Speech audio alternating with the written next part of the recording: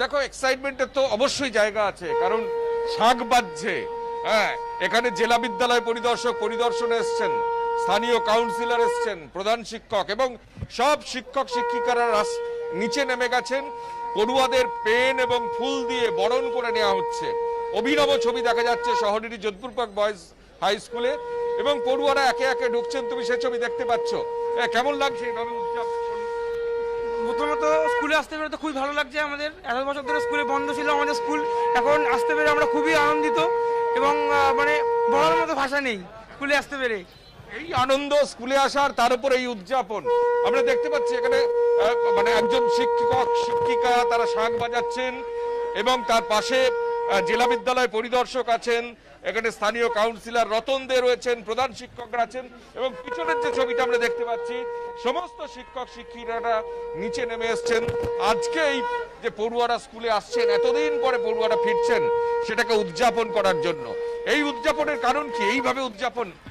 এটা যতই হোক, এত দিন বাদে ছেলেরা বাড়ির বাইরে বেরিয়ে প্রথম স্কুলে আসছে। এটা একটা আনন্দের অনুষ্ঠান।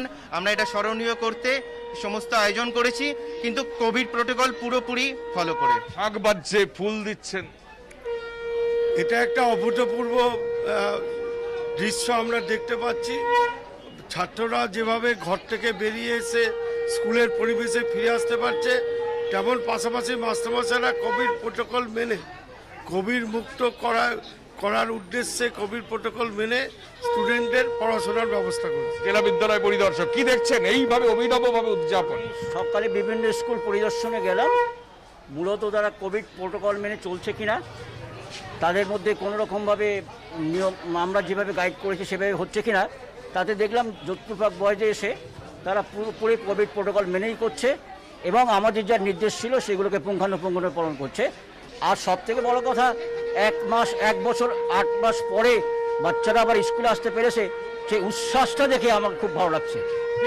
পড়ুয়াদের উচ্ছ্বাস দীর্ঘদিন পরে স্কুলে ফেরা এবং পাশাপাশি শিক্ষক, শিক্ষিকাদের এইভাবে উদযাপন। পড়ুয়ারা ঢুকছেন, শাক বাজছে কলম দিয়ে, ফুল দিয়ে বরণ করা হচ্ছে। মানে সকাল থেকে এই ছবিটা দেখা যাচ্ছে যোধপুর পার্ক বয়েজের গেটে আমরা দেখতে পাচ্ছি সেই ছবি।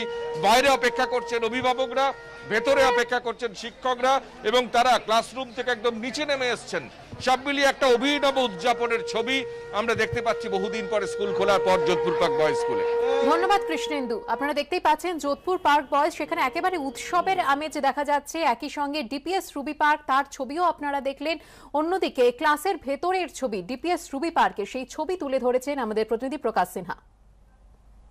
দীর্ঘদিন পর পড়ুয়ারা এসে পৌঁছেছেন স্কুলের ক্লাসরুমে। আমরা রয়েছি ডিপিএস রবি পার্কের একটি ক্লাসরুমের ভেতরে এবং আমরা দেখতে পাচ্ছি সোশ্যাল ডিস্টেন্সিং মেনটেন করেই পড়ুয়ারা এখানে ক্লাসরুমের ভেতরে বসে রয়েছেন এবং একজন শিক্ষক তিনি সামনে অফলাইন এবং অনলাইন দুটো তো ক্লাস একসঙ্গে হবে, সেই ব্যবস্থাই করা হচ্ছে। আমরা পড়ুয়াদের সঙ্গে কথা বলব যে কেমন তাদের এক্সপিরিয়েন্স দীর্ঘদিন পর স্কুলে আসছো, কেমন লাগছে? খুব ভালোই লাগছে।